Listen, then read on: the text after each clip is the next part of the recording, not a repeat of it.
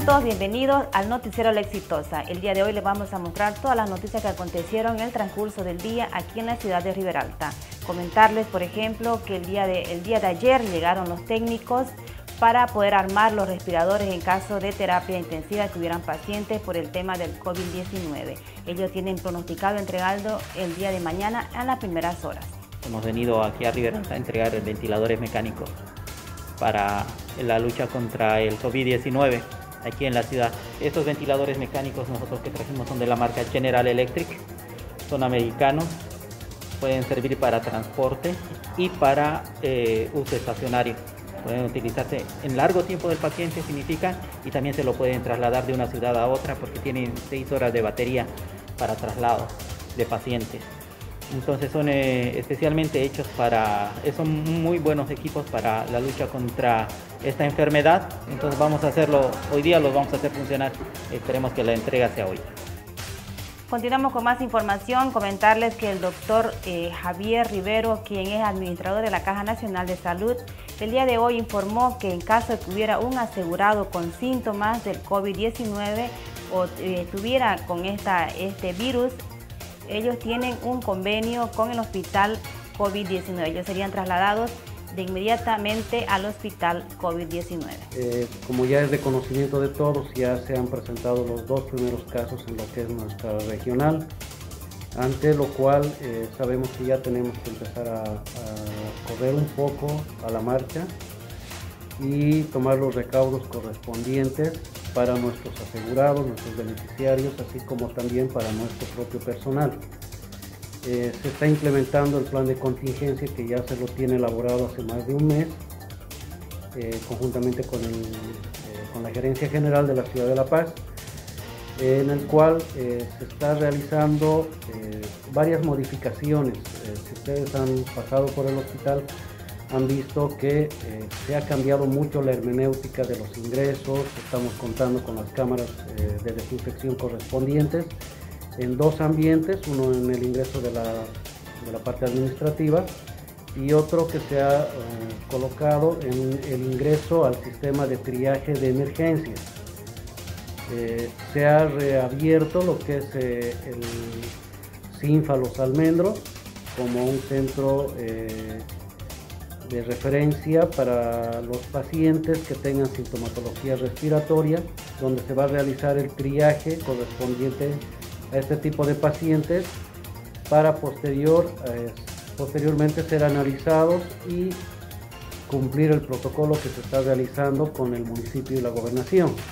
Continuamos con más información. Vamos, seguimos con el tema de salud. Comentarles que el Comurade se reunió el día de hoy con diferentes autoridades tomando el tema del encapsulamiento de nuestra ciudad. Cada persona que quiera salir de aquí tiene que hacer una solicitud de una carta. Después eso se emite a, salud que va a certificar de que la persona puede viajar por cualquier motivo. Se manda esa carta al ministerio y el ministerio autoriza su viaje. Igual es para el ingreso. Entonces nosotros lo que estamos queriendo analizar y ver es que toda persona que nos ingrese a nuestro municipio entre en cuarentena. Ya hay una propuesta de ley para el caso de eh, ejercer un control más riguroso en las fronteras del, municipio de Riberal. En todo caso, estamos en la, en la decisión de seguir apoyando al gobierno municipal a través de la Secretaría General y las instancias de la gobernación que existen acá, ¿no? Las redes de salud, su gobernación. Las medidas más radicales que se va a hacer para precautelar el, territorio municipal frente al evento que ya se ha, eh, eh, se ha, presentado en el Beni, particularmente en Trinidad. Todo el cierre de los límites de Riberalta. ¿Cuándo se declara un municipio encapsulamiento? Cuando es un foco de infección, ¿ya? ¿Y cuándo se militariza? Cuando es desastre cuando ya ha escapado de las capacidades institucionales y pérdida de capacidad de autoridad. en Riberalta, en no es ese caso. Entonces lo que en Riberalta estamos trabajando es de que no va a ser encapsulamiento, sino más bien va a ser de radicalizar más las medidas, en este caso del 24 al 30, de cerrar los límites eh, y solamente eh, en ese sentido la población va a tener que tomar previsiones hasta el 24 para autoabastecerse. Todos esos días, eh, la idea es que hay que fracturar la cadena de contaminación. Por eso es muy importante estas pausas también. Continuamos con más información, noticias La Exitosa, comentarles que el día de hoy el señor Mario Aguilera, preocupado por la situación del encapsulamiento en nuestra ciudad, pide a las autoridades municipales analicen este tema. Lo que sí yo estoy de acuerdo es que se encapsule a Río Alta, pero en la frontera, que trabajen nuestros militares, que trabaje nuestra Policía Nacional, que trabajen nuestros eh, médicos, ¿ya? Porque el control, quiero decir a la Policía de Río Alta, ¿no? es un saludo a la bandera, lo que es Guayamirín, las trancas que hay para Santa Rosa, para, para Puerto Hamburgo, es un saludo a la bandera, todos están entrando, ¿ya? Y no es que van a pegar el grito al cielo ya en Rivera Alta, porque solamente eh, el pasado lunes eh, hubieron dos contagios en Trinidad. Ya eso nosotros, eh, vuelvo a reiterar, agradecido a Dios que nos dio 41 días ya de que no hubiéramos tenido. Pero bueno, nos están escondiendo información, ojo, con lo que digo, nos están escondiendo información ya a la población, nuestras autoridades. En consideración, le pido yo a nuestra autoridad, el gobierno municipal, que ya hagan un simulacro de, ¿no? de los enfermos de esta pandemia. ¿A qué quiero llegar? Que tomen como base 30 solamente personas en River Alta, para que de, manera pública, con la participación de ustedes como medio televisivo y radial, vean si nuestros hospitales están equipados, que mire la población si tenemos camas sobre la base de 30 personas, contagiados, sospechosos y, los que están ya eh, eh, eh, en terapia. Solamente estoy hablando de 30 personas, un simulacro, pero de cara al pueblo. Y vamos a felicitarlos si es que ellos se han preocupado en protegernos. Y no es nomás de la noche a la mañana ya encapsular a Riberalta. Ojo, en Riberalta no ha habido, y ojalá le pedimos a Dios, de que no haya contagio y que no haya esta, esta pandemia. Continuamos con más información, indicarles que el día de hoy el alcalde municipal de Riberalta dio una breve explicación de lo que sería encapsulamiento del cierre de fronteras, el ingreso y salida de nuestra ciudad. Hemos presentado la ley que pretendemos enviar al Consejo Municipal, que es sobre el estrictamiento de la ciudad de Riberalta en los próximos días. Entonces esperamos también su visto bueno y su apoyo de esta institución para poder hacerla llegar al Consejo lo más rápido posible.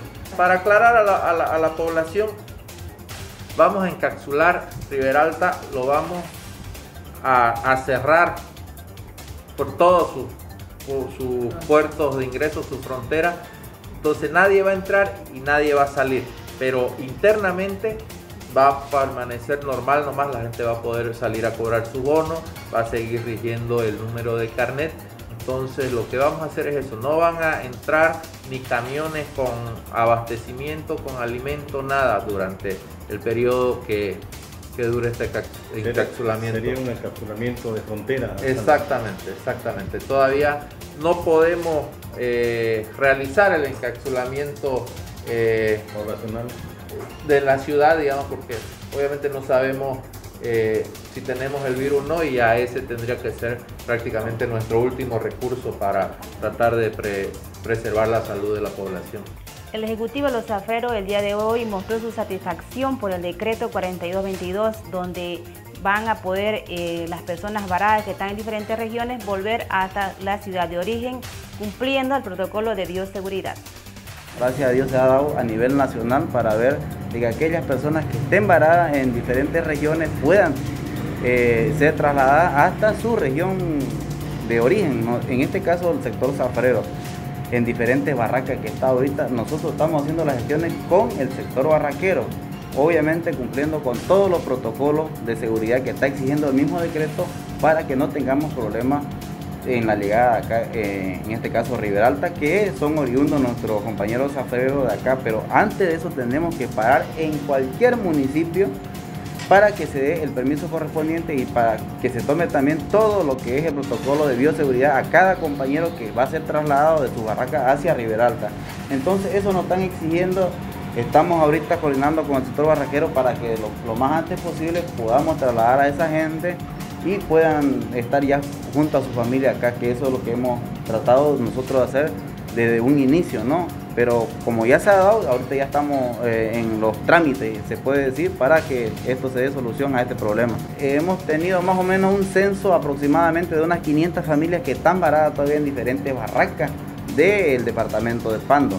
Entonces a través de eso es la preocupación porque eh, ellos tienen muchas familias acá también, ¿no? A veces el papá está ya solo nomás y la familia acá solo, entonces esa es la preocupación de ellos y tenemos llamadas, por eso es que estamos nosotros como dirigentes también eh, tratando de, dar solución, pero con el decreto que se dio hay que cumplir una serie de requisitos y a través de eso estamos trabajando en ello.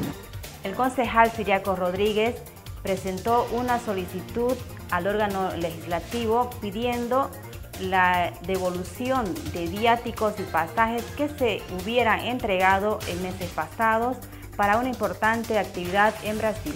Los recursos se le entregaron el 4 de marzo y los concejales no han depositado, pues, aunque sea los viáticos y la inscripción. Si bien ellos argumentan de que tienen problemas porque ya compraron el pasaje, pero eso aproximadamente son 5 mil bolivianos pero tiene la presidente más de 10 mil bolivianos y los otros dos concejales, cada uno más de 8 mil bolivianos en tema de pasajes y viáticos que deben de ser depositados inmediatamente se haya clausurado el, evento. Pero sin embargo han pasado, ya fíjense, pasó todo marzo, estamos por finalizar abril, más de la mitad de abril, y no han sido depositados estos recursos. Eh, alguien propuso ahí que le descuenten de su sueldo, creo que esto pues no es préstamo, el municipio no es, no es una entidad prestataria. Si esos recursos son del, gobierno municipal, no han sido utilizados, deben de depositar lo que está en su poder si es que han comprado su pasaje y presentar la factura del pasaje y hacer su rendición de cuentas. Si es que el problema, digamos, es la pandemia, de que hay largas filas en los bancos, nosotros podemos hacer traspasos desde los cajeros, se hacen traspasos ahora, entonces creo que lo que falta es voluntad y nosotros como concejales tenemos que dar ejemplo si es que queremos fiscalizar al Ejecutivo Municipal. ¿Cómo, ¿Cómo, le podemos decir a alguien del Ejecutivo Municipal no tienes que quedarte con los recursos, tienes que hacer su depósito de acuerdo al reglamento si nosotros no lo estamos cumpliendo? La presidenta del Consejo, la señora Carola Olivas, responde a versiones vertidas por el concejal Rodríguez. Tengo documentación de respaldo, a mí no me gusta hablar sin un documento que me respalde.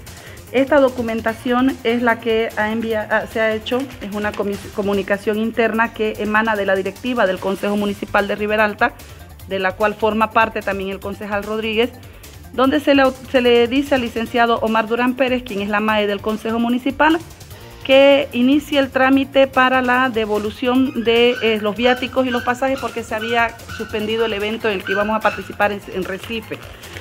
Esta, esta nota se hace el 16 de marzo. El doctor, el licenciado Omar la entrega el 18, la recibe el 18 de marzo. Y ese mismo día el licenciado Omar Durán solicita, 18 de marzo, solicita criterio legal al abogado general, del, al abogado del consejo, quien es el doctor Espada. El 18 de marzo solicita el criterio legal para ver cuál sería la manera, porque tropezábamos con el tema de la devolución del pasaje. Dejamos de trabajar, entonces este criterio legal no se, no se hizo, entonces no se ha cerrado el proceso. El concejal Rodríguez da a entender de que yo, yo estoy hablando por mí, ¿ya? De que yo no quiero devolver el dinero, de que yo me he gastado el dinero. Yo quiero, aquí está el dinero. Este es el dinero, aquí hay 13.200 bolivianos. A mí me yo tengo que devolver sin el importe de los pasajes porque todavía no ha habido una respuesta referente al tema de los pasajes yo tengo que devolver 13.900, alguna cosa. Aquí hay 13.200 bolivianos. Yo no me he gastado el dinero. Porque yo fui, cobré el cheque un día antes de cuando se suponía que íbamos a viajar, lo cobré jueves, porque se suponía que viajábamos entre sábado y domingo, y lo guardé en mi domicilio, porque era con esto que yo iba a comprar los reales para poder viajar. Yo eh, la tengo, lo tengo el dinero, no he hecho el depósito, no es porque yo quiera guardarme ese dinero Lejos de mí querer cometer un, defalco de 13 mil bolivianos. Jamás pensaría en eso. Tengo familia. Y es por esa familia que yo quiero pedirle públicamente, concejal Rodríguez, si usted dice que yo cometí un delito, si usted tiene las pruebas de mi delito y usted no me demanda, usted es mi cómplice, concejal Rodríguez. Ahorita usted es mi cómplice. Porque si usted tiene pruebas de que yo le he robado al municipio, usted es mi alcahuete, es más, porque no me ha demandado. Vaya al Ministerio Público. Yo le pido, por favor, concejal Rodríguez, vaya al Ministerio Público y demándeme.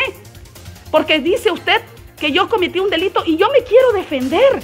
Pero no es a través de las redes sociales, no es a través de la radio, no es a través de, la, de la, televisión que uno se defiende de una, de una denuncia de este grado. Uno se defiende ante las autoridades. Denúncieme, concejal Rodríguez, usted está haciendo incumplimiento de deberes. Como concejal municipal, usted dice que yo he cometido un delito, que tiene las pruebas. Demándeme ante la fiscalía, ante donde corresponda. Demándeme. No esté en las redes sociales diciendo que yo hice o dejé de hacer algo. ¿Tiene pruebas? Demande. No sea alcahuete, concejal Rodríguez. Estas fueron todas las noticias destacadas del día de hoy en nuestra ciudad de Riberalta. Los invitamos a seguirnos en nuestra página oficial La Exitosa en Facebook y en nuestra página web www.laexitosariberalta.com.